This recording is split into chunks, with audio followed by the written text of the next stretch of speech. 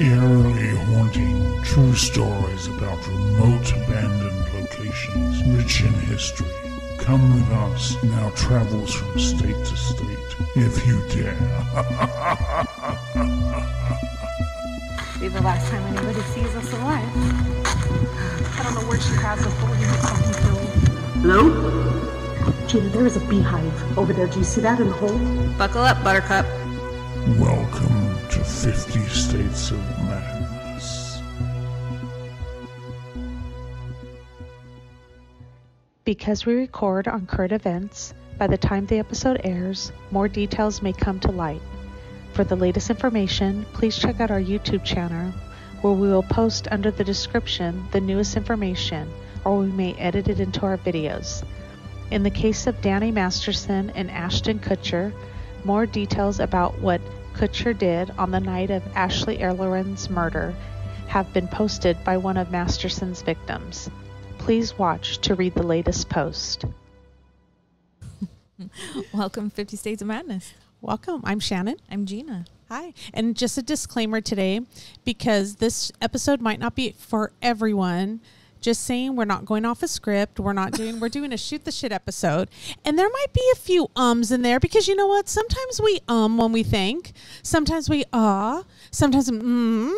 Huh. Yeah, I um and, a lot, but yeah, and we do a little bit of pausing. So just you know to throw it out there that if you are annoyed by some ums, this not might might not be the episode for you. And if you're annoyed, or any of them for that matter. or if you're annoyed by any of, and if you my- find like my the language. need, if you find the need to comment and call us out, on our ums, just don't don't comment. Just stop watching the video and move on. Thank you. But We thank might- you for adding to our comments though, because I appreciate that. So Yeah, absolutely. Yeah. But this is a shoot the shit, so we're going to be just talking about some of the things in the headlines or some of the things that are, have been on our mind. um, so really, not before we start particular. though, I want to read a comment.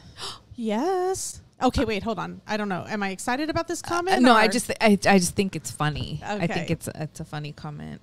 So I have posted the video. You know, we did a TikTok.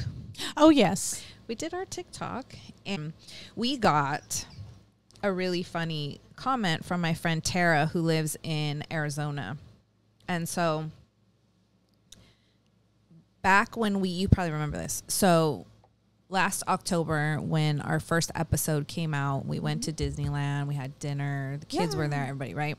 The cake. So Jasmine, my daughter, her boyfriend had made a comment. Do you remember what that comment was? What he said about about my voice? No, I don't remember. He said that I sounded like a phone sex operator. Oh, I do remember. So my friend Tara made this comment. she said, "Me and McLovin, who is her husband, her name, her husband's name's Aaron, but we everybody for some reason calls him McLovin because he's a doctor. That's so cute. me and McLovin listened to the Whaley House episode on our way to San Diego. He got you confused with a nurse friend of ours named Dana, whom I once told should be a sex phone operator because her voice was so smooth. Then she admitted at one time she actually was a very successful sex phone operator. He said, Now I can see how Gina was a phone sex worker because her and her podcast partner have perfectly soothing radio voices. I agree, but I also had to inform him of his detrimental mix up. so I thought that was funny. Uh, so that is funny. yes. So I have been told that um, shout out Tara and McLovin. Thank you for Yes, listening. Thank you. But I have been told that when I take orders in the drive-through, you know, my all my colleagues can hear me, my coworkers Yeah. at Starbucks. Yeah. And I have to repeat the orders. And when I first started, you know, I'm super excited. My voice is high. I'm like, so I would always like, you know, hi, welcome to Starbucks. What can I get started for you? And I would annoy everybody who has a headset on at my work. And one of um, the girls said, um, Shannon, can you like take that down a few decibels? so I'm like, okay, well, I'm just gonna have to talk really soft, right? So now, so now they say that I have a really good phone sex voice because I'm always like, hi, welcome to Starbucks. What can I get started for you? That's wonderful. That sounds great. Would you like that hot or cold? Do you want that blended or on the rocks? On the rocks. Double blended? Okay, double blended it is. what is double blended? It's some people like it double blended in the blender. Oh, like so Like the it's- Frappuccinos? It's not so icy. Maybe, maybe it's not so crunchy. It's a lot Oh, okay. smoother, but it comes out a little bit more watery, Oh, maybe I, I would like like mine half blended. Like chunkier. Yeah. yeah. I don't even think you even you like on the rocks. I don't even drink You're on the rocks. no, yeah. So they they've made that comment too because when I go really low and deep and I get breathy. No, I- I don't. I don't try not to.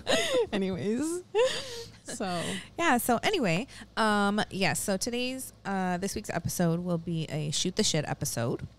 So Yeah. we are actually Shannon is the one that. Well, no, actually Shannon didn't bring it up. Mm-hmm. Um, her friend Kim brought it up, yes, and so she suggested maybe we should talk about this since it's in the news, and so right here now we are. Just a little background. Well, what she brought up was the murder of um, Ashley Ellerin, and for those of you who don't remember, it's um, well, I'll get into that. But the reason why she brought it up and the reason why it's in the news is because of Danny Masterson, because he just got convicted, thirty years for rape, Right. And um, I He's don't the guy from that 70s show. that '70s show, and it was a really funny show. I like that show. I never What's watched it a whole lot, but I did watch some episodes and yeah, it wasn't it wasn't my favorite, but No. I mean, I didn't tune in every week. yeah, but when I did watch it, yeah, I thought it was funny. Yeah, it's a funny show. But um so he was on that 70s show and so he's in the news because he got sentenced to 30 years and I don't know all the details. I just know he was convicted of two or three rapes, right? Um initially he had gone to trial and that's why it's a shoot the shit cuz we don't have all the details, but originally he went to try he went to trial he was going to be charged with rape before either charges were dismissed or acquitted or whatever the reason. He didn't get charged for those previous ones, but then this one came out and now he he got sentenced to 30 years in jail. Well, as soon as he was sentenced, there was a video that went around of him on the Conan O'Brien show. Yeah. You you uh, you have no accent though. You have no Long Island accent that I can discern. Not really. I've been in LA for like 10 years. Mhm. And it just goes away naturally, right? It, it goes away naturally, and then there's also certain words that there's nothing you can do about. Like my friend Bodie Elfman, he always teases me and he says, Hi, my name is Danny Masterson. Would you like to touch my balls? you know, doing an imitation of me. Because certain so words why are you you just can't asking people to do that? That's the more important question. I mean, you got them. yeah, right, right. You know what I mean? Accent aside, Everybody should grab. that's the more important thing. Exactly. Um, I've heard about you, uh, and you'll be caught soon. I know you will. I will.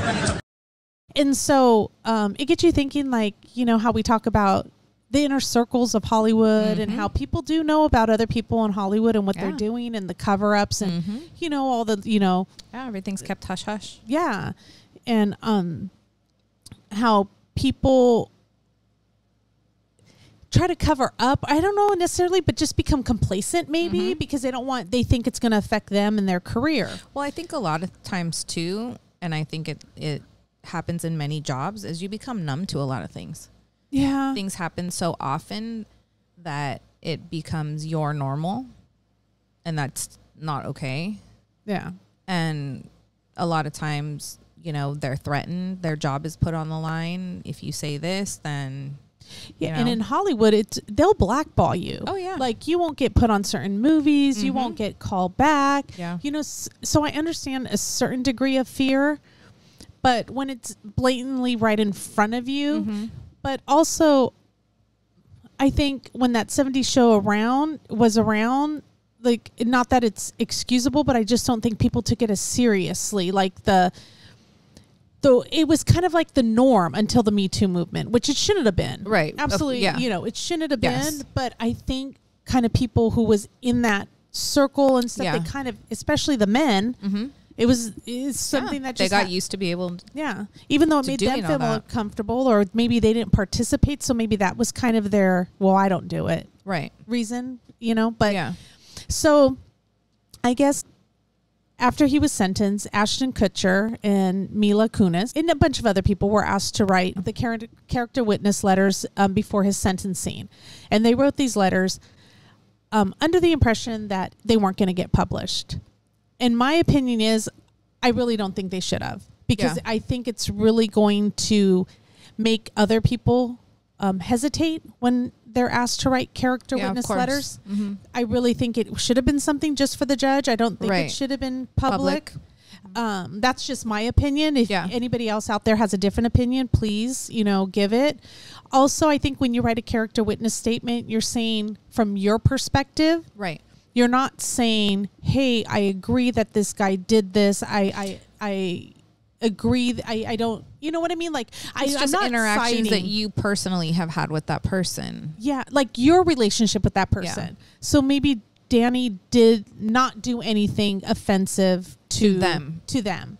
But there are certain things coming out on certain ways he talked about Mila when she because she was only 15 when she was on that 70s show. Right. When she started. So certain comments that he made, certain comments that Ashton Kutcher made um, about Hilary Duff. Is in Lizzie McGuire. She also has an album out. Um, she's going to be in a movie called Cheaper by the Dozen. And she's one of the girls that we're all waiting for to turn 18, along with the Olsen twins. you know, so all these little comments are coming out, and people are being very critical because you know he does. He's a big advocate for um, sex trafficking. Right.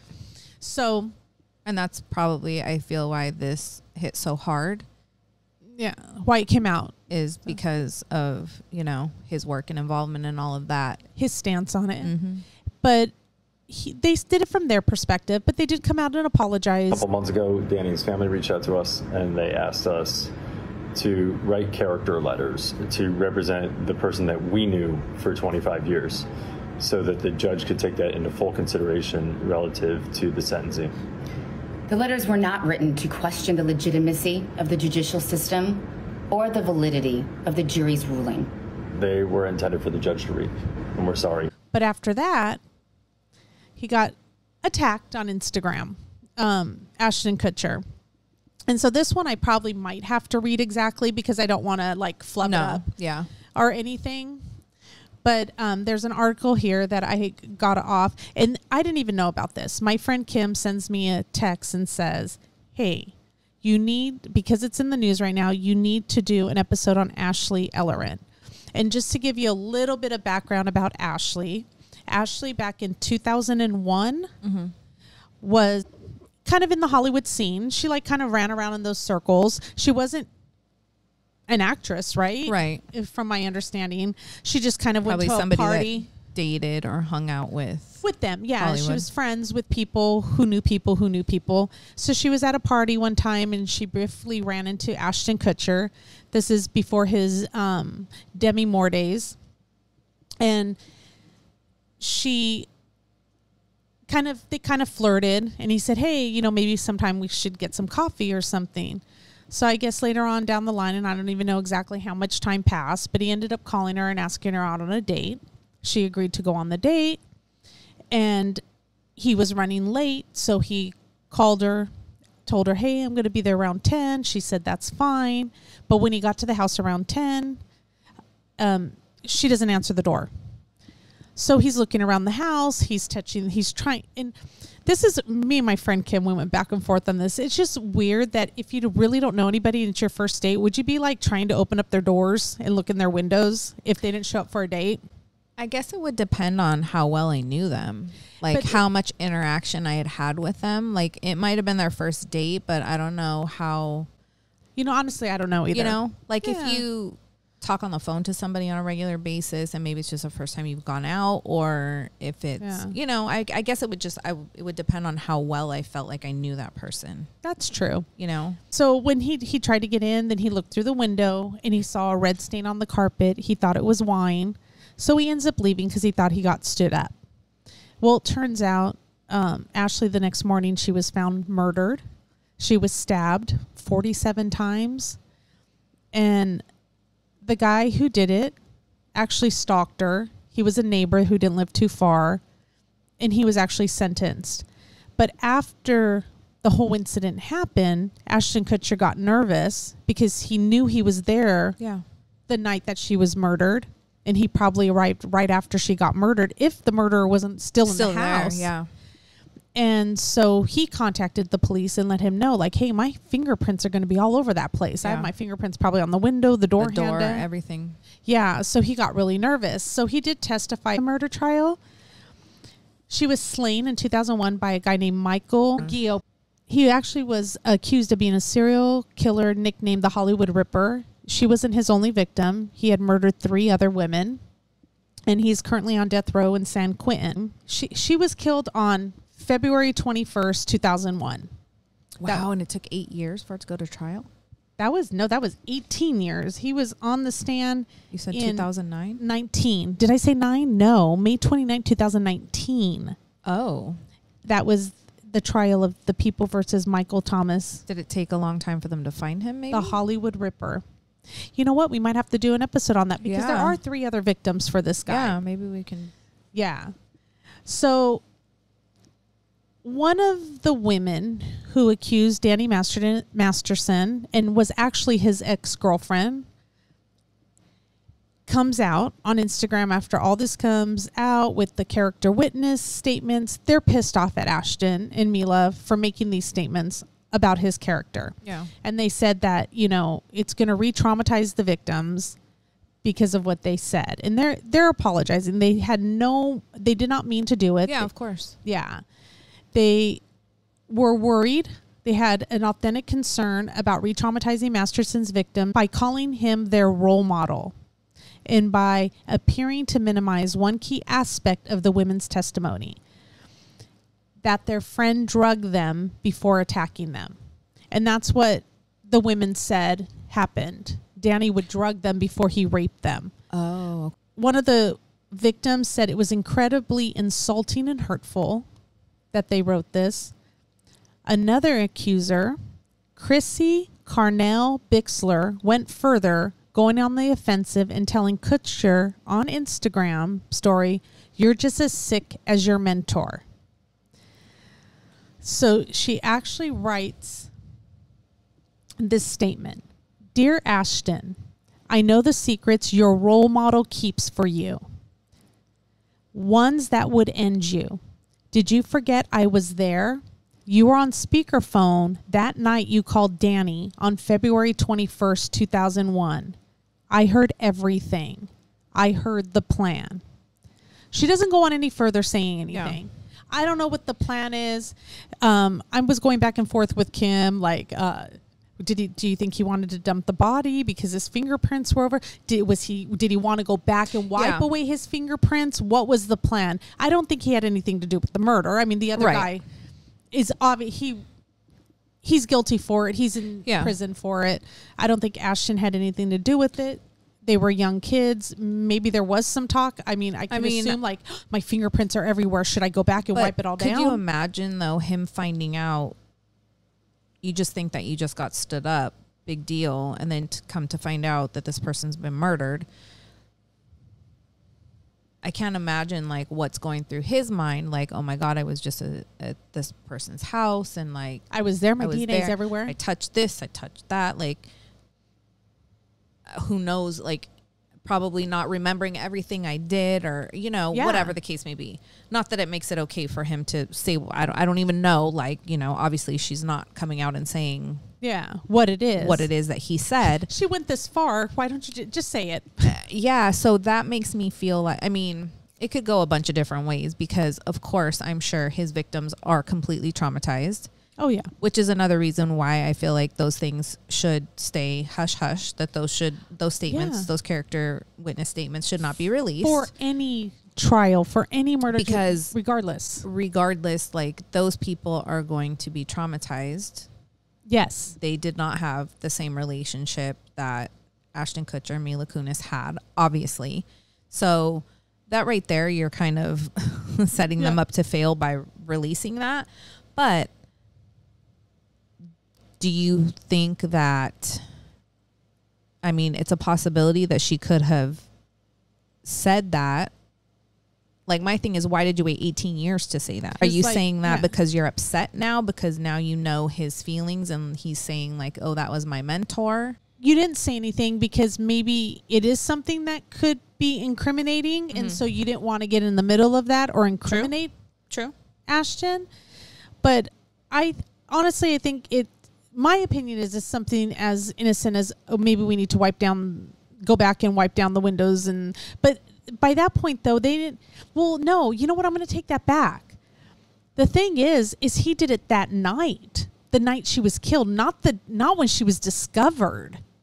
Who who? So what wait, are they wait, talking did about? What? When was when was he? When, wait, what did well, you just say? When He was the what? phone call made? Well, when he called Danny and he was on speaker, I said, I don't know. February 21st. I got to look that up. If we can look it up.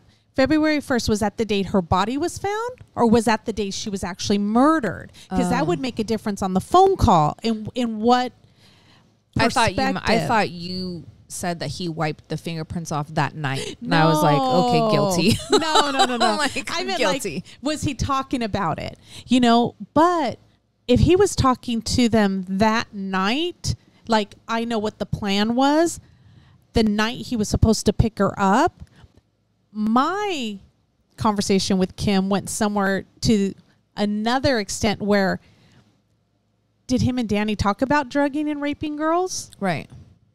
You know, that's where it went. Maybe like, yeah. Maybe it wasn't something specifically about the murder. this lady. Maybe it was just in general. just in general. I know the plan Mm-hmm. could be as simple as, oh, did Danny provide you with roofies? Yeah. You know, Yeah. It could like be that. anything. Yeah. Um, has Ashton drugged and took advantage of girls? Maybe not necessarily thinking it was anything wrong, just to relax them, Yeah. make them more fun and woo, you know, kind of party drugs with the girls. I mean, who knows? All that stuff goes on.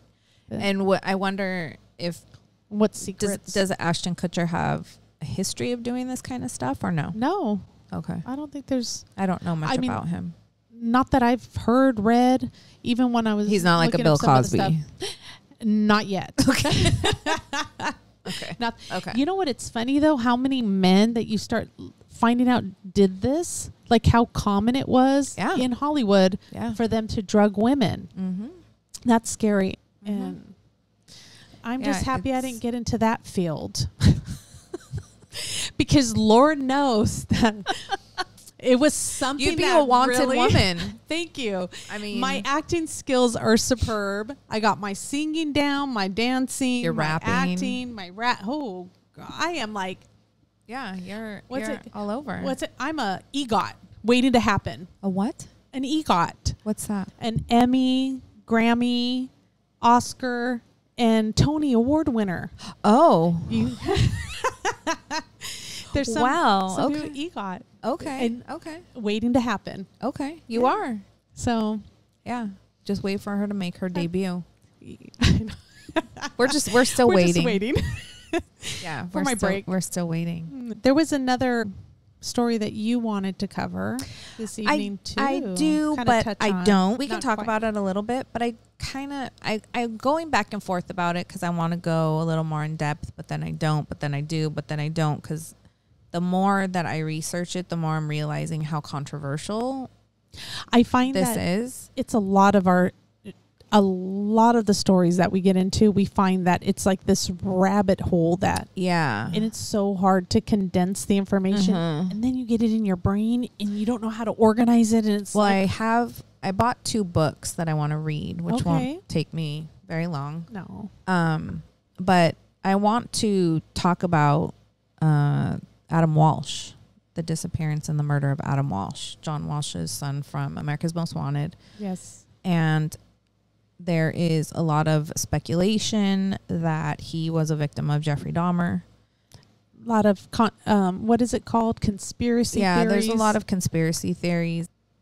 There's there's some theories out there that it wasn't even his body or not his body was never found. It was just his head that was found. But that it actually wasn't him. It wasn't Adam Walsh. So there's there's so much out there that it's kind of like I don't yeah, I mean, You need all the information. basically what happened is he went, went to a mall with his mom to a Sears in Florida. Went in, his mom was uh, over in one area. He said he wanted to go play video games. He went over his mom, and it, it was apparently a store that they visited frequently. He had done this in the past. She went back over there after leaving him there for a few minutes. He was gone. so, So. Mm, parents worst nightmare yeah. I don't know, a week or two later, his head was found. Only his head, his, the rest of his remains have never been found. So there's just a lot of controversy out there about who did it. They actually had a guy who they said did it. Jeffrey Dahmer actually was questioned about it while in prison. He said, No, I have no connection to this.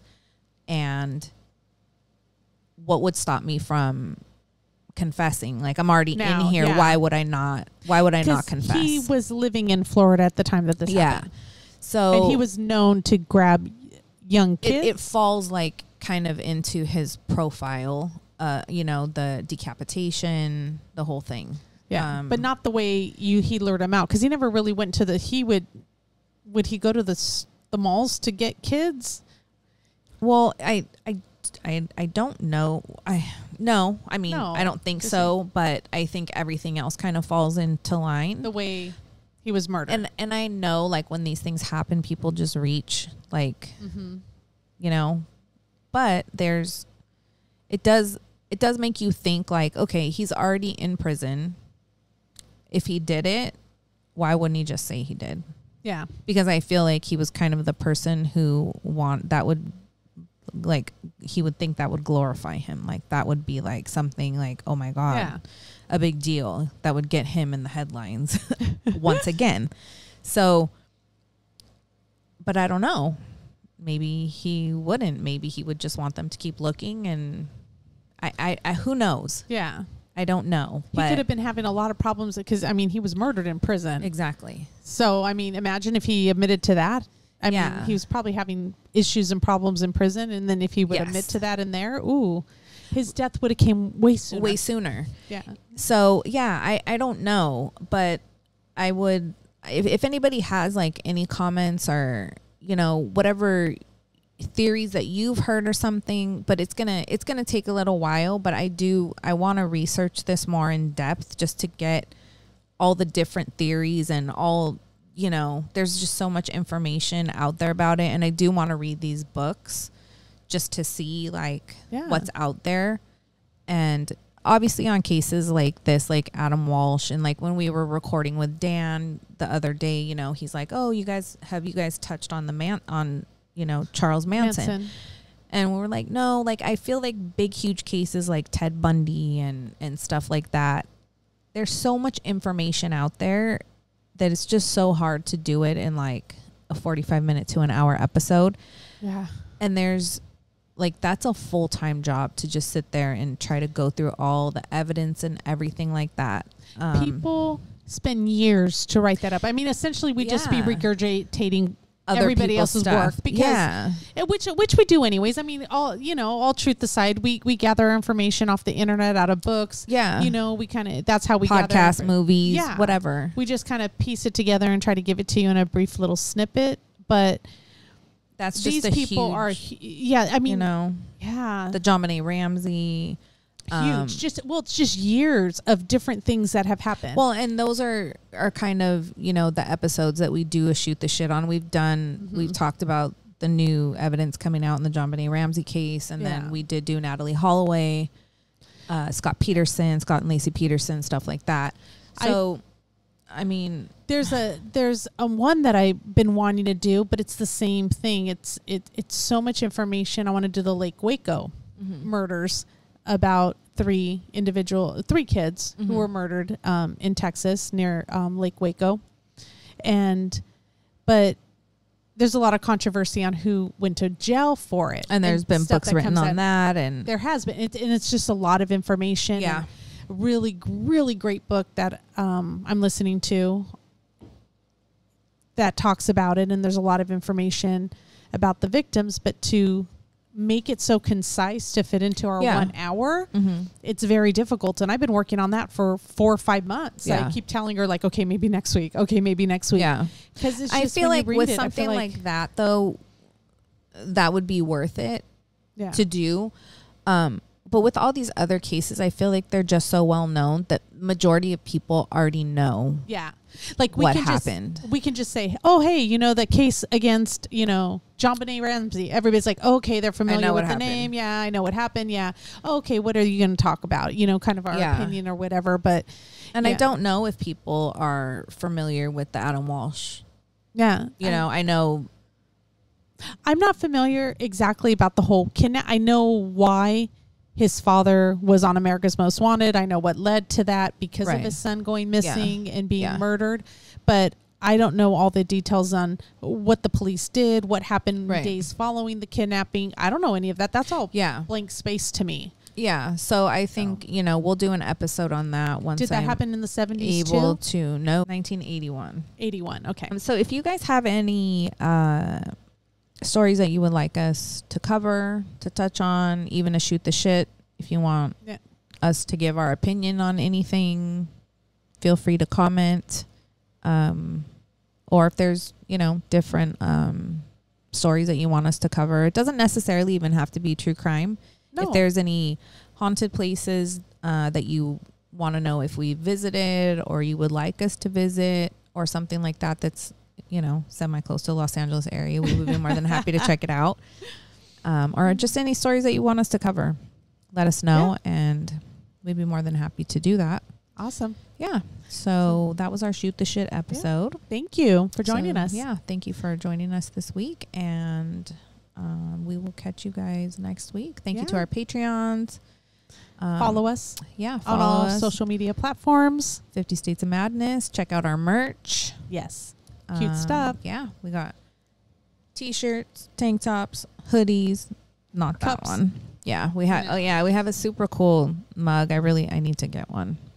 Yeah. I don't even have the tank top, but I did see one. I did see one in person. My friend from work, Roxy, she Hi, wore Roxy. it. Yeah, she Cute. wore it to work You the sent other me a day. picture. Yeah. So Yes. cute. And then the beanie. Yeah, Jenna sent me a picture of her So in her beanie. So, uh, but Roxy was telling me that the tank top material, it she she loves the racerback tank tops. Like that's like her her jam. And so she was telling me that it was the same material, the same brand as the ones that she always buys. Oh, good. So they're really good quality. They're really soft, and they look it looks super cute on I'm her. happy to hear that. Yeah. So So we're not about cheap up in here. We're very bougie. yeah, we got the good stuff. Yes. So yeah. Thank so, so we much. will um, catch you guys next week. Yeah. Be safe. Bye. Bye.